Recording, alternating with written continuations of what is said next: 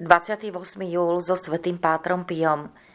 Keby ťa neosvietila a nepritiahla k sebe Ježišova milosť, bola by si ako blázon, ktorý celú noc kráčal popri ceste bez toho, aby si to všimol, lebo ho obklopovala hustá hmla a pri východe slnka, ktorého prišlo varovať pred hroziacím nebezpečenstvom, pohrdol jeho svetlom a pokračoval vo svojej ceste, nedbajúc na hrozbu.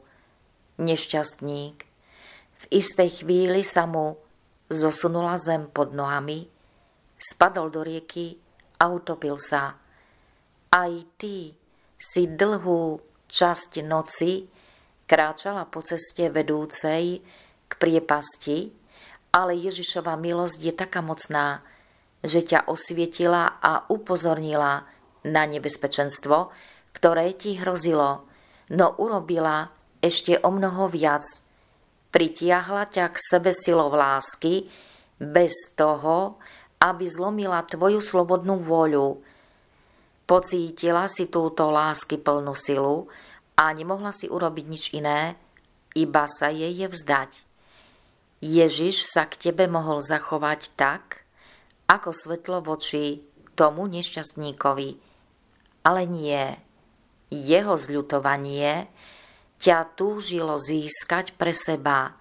Len si všimni lásky plné črty nášho dobrého Otca. Od toho momentu si ťa zamiloval obdivuhodnou láskou a ani na chvíľu ťa neopustil.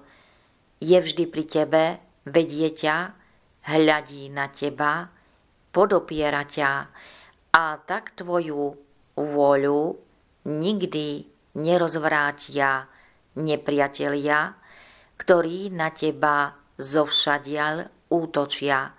List zo 4. novembra 1914 adresovaný Rafaeline Ceraseovej, korešpondencia zväzok 2. strana 217. Amen.